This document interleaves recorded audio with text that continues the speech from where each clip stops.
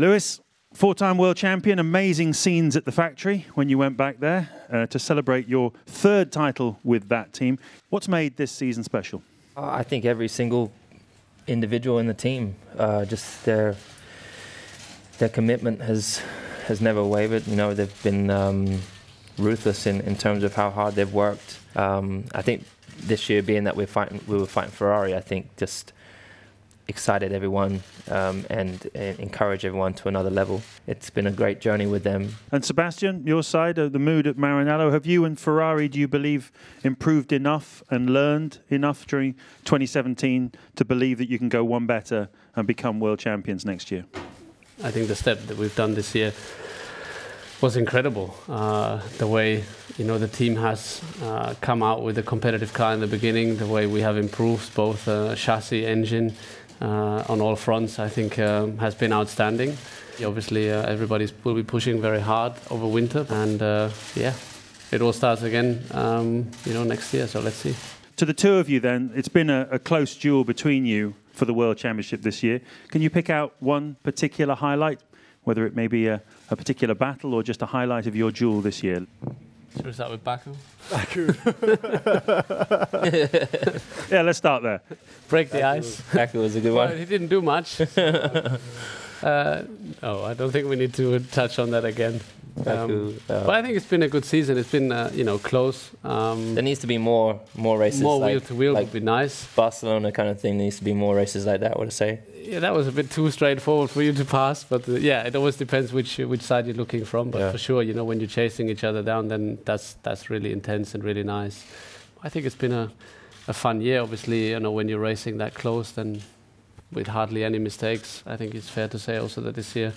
Lewis, probably, Lewis probably made less mistakes, so um, in the end he was just a better man and deserved to win. It was great to have those close battles. I think Spa was was awesome, and you know to be fighting a four-time world champion from you respect, and you expect nothing but the best from them and no mistakes. So um, when you have races like Spa where it's really down to one of you making the smallest mistakes and none of us did, um, I'm looking forward to many more of those races hopefully in the future. Great. So we all.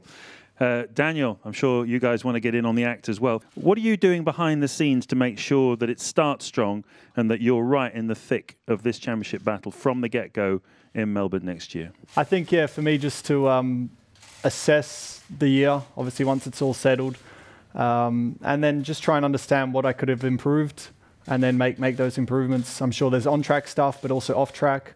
Obviously, you give every year a, a good crack, but um, yeah, just give next year a proper crack. Uh, and, you know, I mean, between us all, we've got eight world titles, so it's pretty good.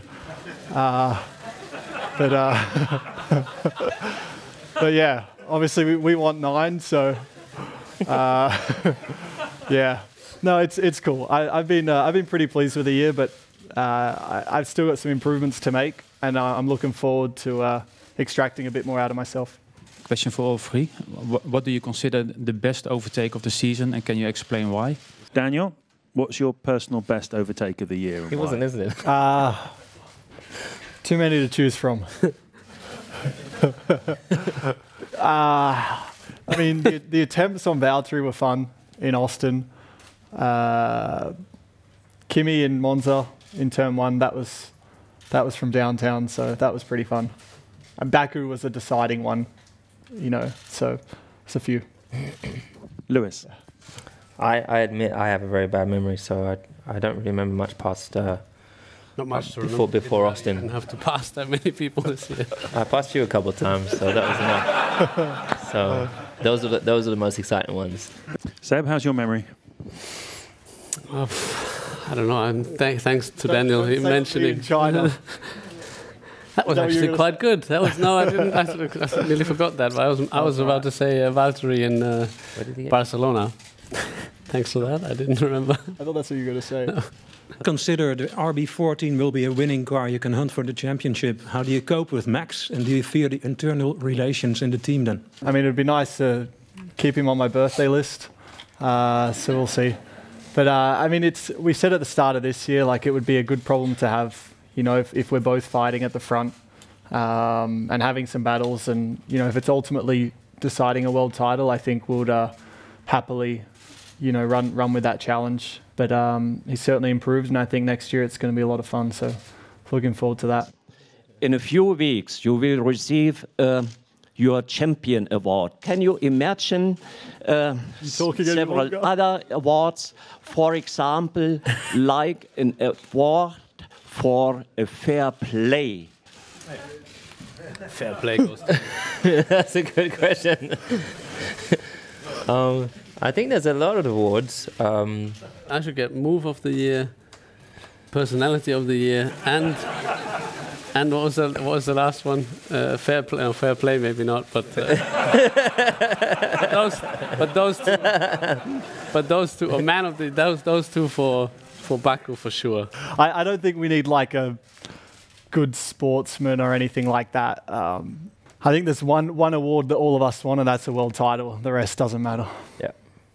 Thank you very much, gentlemen. Good luck in this weekend's Abu Dhabi Grand Prix. Coming up uh, in part two of this press conference, we will have Fernando Alonso of McLaren, Valtteri Bottas of Mercedes, and Max Verstappen from Red Bull. Uh, Fernando, let's begin with you. It's the final race with Honda engines for McLaren. Next year, of course, with Renault. Does that feel like a kind of a homecoming for you? I think it's, it's a good good timing now uh, to to change. Uh, we, oh, I personally had a lot of um, expectations for the McLaren Honda project. Probably mm, that was probably the reason why I, I changed from Ferrari because the McLaren Honda it was very attractive uh, partnership after the success they had in the past, etc.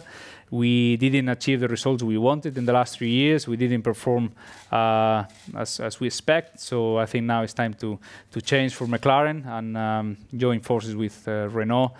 Uh, I'm quite optimistic, you know, seeing what Red Bull is doing um, right now with the Renault Power Unit. Overall, you fight for podiums, you fight for race wins, and that's uh, a very different picture of what we have right now in, in McLaren. At your question of Renault, yeah, feeling at home a little bit, you know, coming back to um, to what uh, I consider my, my friends and my, my second family, so that will be great. So zero doubt. Max, uh, two wins, and you're the top scorer in the last five races with 90 points, eight more than Lewis Hamilton scored, and a new contract in the bag. Is this feeling like the way Formula One should be for you? Uh, not fully because I'm not fighting for the championship.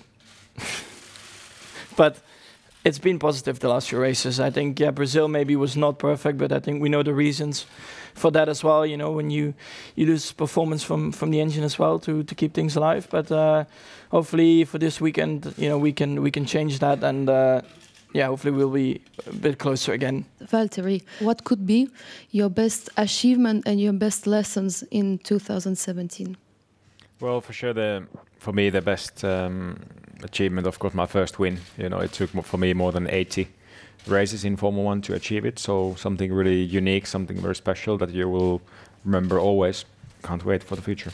So this is the closing chapter for McLaren and Honda, and amid many difficulties, you had certainly some positives. So, what is your best memory of these past three years? I think what I take from from the last three years is the commitment, is the uh, spirit in the team that has been uh, amazing. You know, I I did have some um, highs and lows in, in my career with different teams, with different performance, but. Uh, uh, it was the first time that with the kind of performance we had on Sundays, the team was uh, fully committed, you know, for the next race and the next step and uh, the next uh, aero update. And you know, it was not a single person giving up, you know, with the with the performance we had. So that was definitely the the thing I take in the last three years and the lesson that uh, I will keep for for um, for longer.